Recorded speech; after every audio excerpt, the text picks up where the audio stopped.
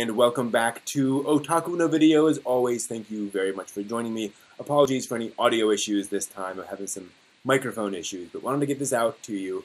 Today I'm reviewing Den-noh Coil, and you'll see a couple different spellings of this depending on where you look for the anime. It is available domestically in the US, in North America, um, subbed and dubbed. Den-noh Coil is an unusual show. The best way I can think of to describe it is Serial Experiments Lain as made by Hayao Miyazaki. And I know that's a bold statement and it's a little over the top, but bear with me on this. The basic concept of Den-noh Coil is it's set in the near future of augmented reality implemented ubiquitously in various cities in Japan. And so the idea is that you would buy a pair of eyeglasses that contain in those glasses um, screens, and there's a little microphone and speaker in the glasses. So they are an augmented reality device. You put those on, and then you can see various digital representations of things. So somebody might be walking a dog that is just digital. Take off the glasses, there's nothing there, put the glasses on, and you see the dog, and the glasses take care of all that stuff. Now, no augmented reality system will be perfect. So you can make a little money by finding these imperfections in the system, finding places where the augmented reality images don't quite overlap correctly, where um, you know avatars aren't behaving correctly. The bounties are small enough that you know adults don't really care, but that's really great spending money for kids. So the show is all about these various children, grade school age children, who run around after school looking for these things. And of course, things get a little more complicated as the story continues. One of the things that's, that's great about this is it's a 26 episode TV series. So you get to really spend time with these characters. There are about, I would say, 10 main named characters that you follow through the, the story, and then another, I would say, dozen or more significant side characters. And they are all distinctive, they all feel real. We'll get more to that um, uh, in a second. But this is a story where you're going to spend time with these characters as opposed to it being this constant rush of, of events. This is not something where you're going to be um, trying to breathlessly to keep up with the plot. A lot of stuff happens, but it's a little more leisurely paced. Uh, the animation is worth mentioning here. The director of Den-noh Coil is better known as a uh, very well-known animator in anime. He worked on the final fight in the Ghost in the Shell movie between Kusanagi and the tank. Uh, he worked on the opening credit sequence of Rurouni Kenshin TV. Uh, he's done a number of different things, and he's known for this kinetic style of animation, where characters, you know, lean to one side and then lean to the back, and there's just a lot of of very realistic movement, but it is this almost jagged movement where there's um, uh, a lot, you know, going on in the animation, but it's not the the butter smooth animation of Disney, of Disney where characters have this balletic style. Um, it is this reacting in the moment style, where somebody who is trying to deal with a lot of stuff and he runs over here, then runs over there. It's, that, that kind of thing.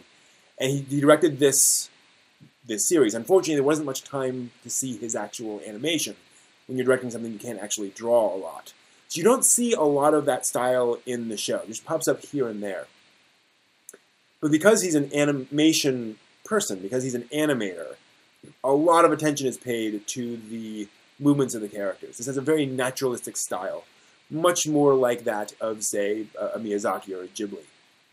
Obviously, they don't have the budget of a Ghibli film, but the way the characters move, the way the characters jump, the way the characters crouch, all of these things feel real. They feel natural. Um, this does not have the odd stylization of a typical anime series.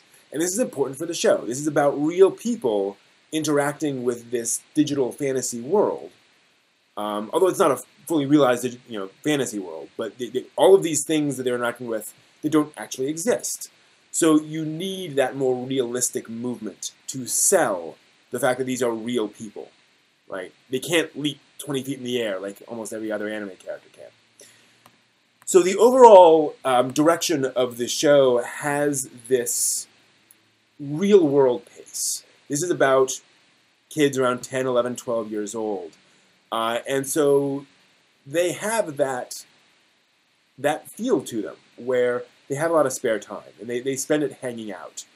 And they have all of these typical problems that you have as a grade schooler dealing with grade school problems. A lot of them are trying to grow up. A lot of them are trying to figure out who they are as people. And so the show gives them time to breathe. When there's action, the action moves at a pretty fast pace. It's not breakneck. It's always very clear what's going on. Um, but this is closer to a slice of life show than to an action show. And I think that works for this show and their pacing. It's not a slice of life show. Uh, it's one of those weird shows that kind of does everything all at once. There's comedy, there's action, there's uh, there's drama, there's character development. There's even a little bit of, of little bit of romance between some of the characters and some crushes here and there. But the overall pacing um, is very steady and very very measured throughout the show, which for a first-time director is quite impressive. Now, a show like this um, really lives and dies based on its characters. The main character of Den-noh Coil is this girl who is a very traditional female uh, you know, tween girl protagonist. She is pretty qu- quiet, she is very polite, she knows how to behave in social situations, and she generally defers to others. Without getting to spoiler territory, um, it's revealed that that well, it's not even revealed. Um, it turns out that there's more to her character than that. Um, she is not just your typical Yamato Nadeshiko style anime girl. Um, she has a past. There's a reason why she's acting this way. And this is true for most of the characters in the show. They all have behaviors. They all have history that informs why they behave the way they behave. And in many cases, they do evolve and change somewhat over the course of the show. Some don't, um, and some do learn better ways of behaving as the show goes on. Um, that said, I never found any of the characters annoying or irritating to watch. Often in these shows, in order for a character to get to a better place, you have to watch them be annoying for 20 episodes. The show does not have that problem. Um, the, the characters are sometimes immature, sometimes make immature choices, but it's always in an entertaining and interesting way. So that's always you know, impressive. Now, I mentioned before how grounded this show is. It's very important for this show to feel like you're in the real world, but where there are these digital things, you know, around to interact with. When watching the show, not only do you always know that, one of the, the smart things they do is that the digital things are typically animated with a slight filter over them. So if you're watching, you will notice what's digital and what's not. And this gives you some clues as the plot progresses as to what's actually going on with, this, with the characters and what actually is real and what isn't. This is one of the things that really impressed me about the show is I felt like these characters existed. I believed their reality this felt like a very prescient, a very believable near future, which is again very impressive to to take something this um, like this. And by the way, this show was made in 2007, 10 years ago, as of my recording of this review. So AR was not around. VR was a pipe dream, right?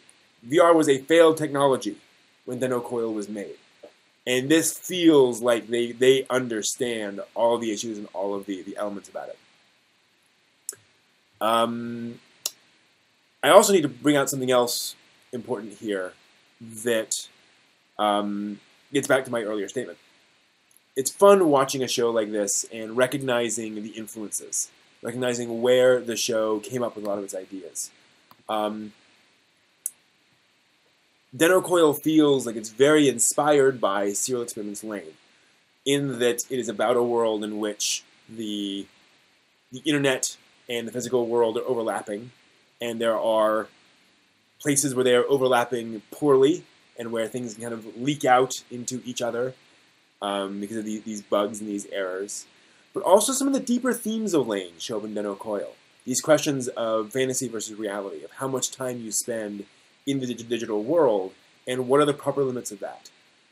And also, can something in the real world touch us as much as, as something in the physical world? Um, should you care as much about something digital as something physical? Um, and we're talking about like characters. Can you care for an NPC in a video game as much as you care for, you know, your sibling? Is that natural? Is that right? Is that reasonable? And the show really delves into that from multiple perspectives. There are some other sort of twists in there as well. What's also interesting is that there's a character in this show who seems to me like a she is pulled very much from Boogiepop Phantom, the strange horror anime and larger Boogiepop franchise from the 90s and early 2000s. Uh, uh, Nagi Kirima, the Fire Witch from Boogiepop Phantom, seems like is a strong inspiration for one of the, the, the girls in this show. Um, so if you've seen Boogiepop or you've heard about it, I, I think you'll you'll see that connection and, and have fun seeing how those things uh, kind of work. I do want to give a quick shout out to the English dub. Um, it's tough casting an anime series where most of the characters are children because it's hard for adults to sound like children, believably over 26 episodes, and they do.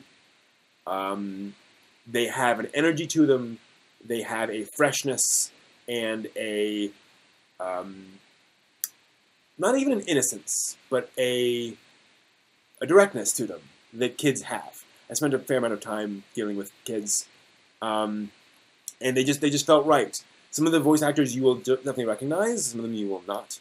And I think they did, you know, overall a a fine job with the voices, particularly Hillary Hogg or Hilary Haag as the main character. Um, she just she felt right, exactly right for the role. And I think the other the other voice actors they just settle down and they figure out how to how to do those voices. Just um, there are some cases where some of the minor characters, some of the minor, minor kid characters, sound like the voice actor is pushing themselves a little bit too much. Where the voice sounds appropriate and like the emotions are there, which is the exact tenor of the voice. You know, kids who have voices like this where like I know kids who sound like this, um, but it just feels a, like they're reaching a little bit too much for an odd voice. So be aware of that, you know, going in. Um, granted, what I've seen, I watched about half of this with the Japanese dub and half with the English dub, and as I recall, the Japanese dub does similar things. Just the American um, brain that usually doesn't know what a Japanese, a different Japanese voice sounds like. We're not as attuned to an odd Japanese voice typically. So some of them do some odd things with the voice, which just don't. They sound different, but they don't sound odd, right, to our, our ears. So as I recall, this was just a, a, a choice made by the team. Um, so in other words, I'm not calling out the American team for making a bad choice. I think that was just something that, they, that was done uh, on both sides. But again, nothing to break you out of the show. Nothing to nothing that seemed bad. All the voice actors hit their correct emotional marks. It just sounds a little, um, um, little unusual at times. And note, that's about the only complaint I have about the show. Now, certainly Den-noh Coil is not for everyone. Um, it's a quieter show. It's a more contemplative show. Um, there is action. There is drama. People do change. Bad things happen. But this is not a show about characters firing, you know, um, giant laser guns that they pull out of their bodies at each other. You know, this is not about characters punching each other. This is about 11 year olds who are, get caught up in something much bigger than themselves. The plot does go in serious directions, and there is dark stuff that happens later on in the show. Um, so be aware of that. That you know, a tear may come to your eye now and again. And I think that's exactly right. This is the kind of anime that I want to see more of. It is it is quality. It is doing something, not just doing something different, but it is committed to a distinctive, specific story and theme and setting, and it executes on that. This fe- everything feels like it fits here. Everything feels like it was designed exactly for this world and for this setting to tell these things. And we just don't see that that often in anything, in any medium. And it's just so wonderful and so refreshing. As I mentioned, you can find this uh, uh, dubbed and subbed with legitimate, re- with legitimate re- releases over here. Um, I hope more people do support this show because I think this is the kind of thing that we would do well to have more of. Hope this is helpful. Thank you for watching. Hope to see you next time.